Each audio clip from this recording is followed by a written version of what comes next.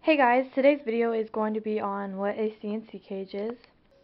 And C&C just stands for cubes and chloroplast and right here these are the cubes and the chloroplast, I don't have chloroplast but you can buy it and not every C&C cage you don't have to have chloroplast.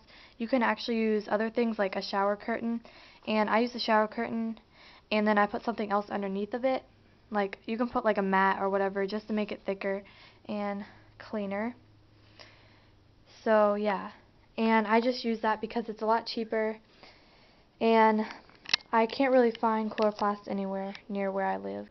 And the cubes you can I get them from Bed Bath and Beyond for um, a pack of like 20 for $20 or I believe it's like a pack of 20 for like 19.99 and or you can get them pretty much anywhere else like Walmart or you can order them. And as you can see um, with a C&C cage you can make it whatever size you want. Like from pet store cages they you can't really expand them. Okay guys stop it. But anyway yeah you can like connect the cubes and you just use these little connectors that you can buy them with or um, cable ties and you connect them and they are really not hard to clean because I think that like because they're bigger they're a lot easier to clean because um like if you have a small cage all the like poop and stuff piles up really easily and it's all like compacted in one like spot. And yeah. And with these cages they have a lot of room to run around. And if you have a lot of guinea pigs there's like not any pet store cages you can buy to fit them all. So you can like easily make this as big as you want you can you can also customize it to whatever shape you want. Like if you were like in a corner, maybe if you wanted to make it into an L shape. So like you can make whatever shape would fit in your room. And the chloroplast, if if it's like if you're like me and you can't find it anywhere and you don't want to use a shower curtain, you can order off. There's like a lot of websites and I'll link them below. There's like I think guineapigcages.com or guinea pig zone. They sell them, but if you buy them from like there, the chloroplast is always already cut so it's like this like you would have like a wall up here to keep everything impacted. I just um, binder clip the blanket up here so all their stuff stays in the cage since I do not have chloroplast but yeah it's already cut for you. But if you just buy straight up chloroplast from somewhere then you'd have to cut it yourself. Although if you buy it to where you have to cut it yourself it would be a lot cheaper and if you're wondering on like the sizes on however many guinea pigs you have, a 2 by 4 is for can fit up to 2 guinea pigs. That's a good amount. And for one guinea pig, a 2 by 3 so like two of these by 4 would be for two guinea pigs. I have like mine is a 3 by 4 and then for three guinea pigs a 2 by 5 and like yeah, like so on kind of.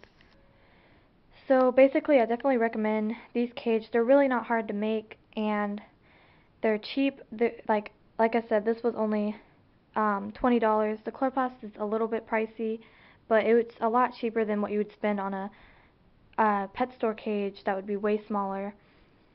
And it's a lot. It's not hard to clean. The guinea pigs are much happier in it because they have a lot of room to roam and and you can like customize them and fit however many guinea pigs you need in them.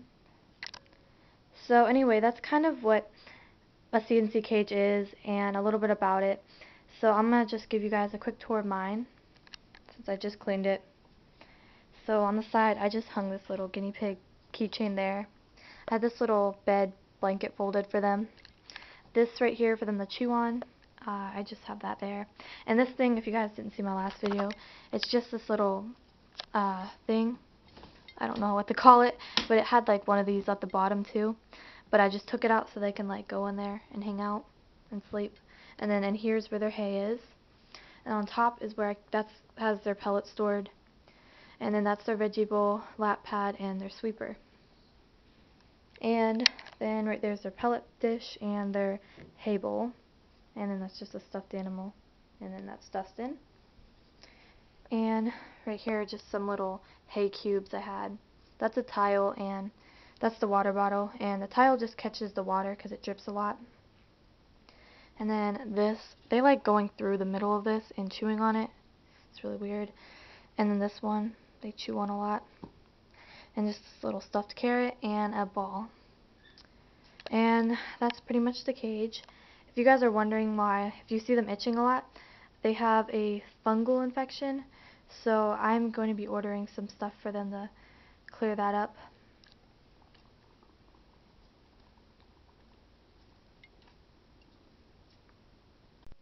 Anyway guys, that's pretty much the end of the video. Please check out my other channel which I will link below. And um, follow me on Instagram and subscribe and leave a nice comment. So that's pretty much it. Bye guys.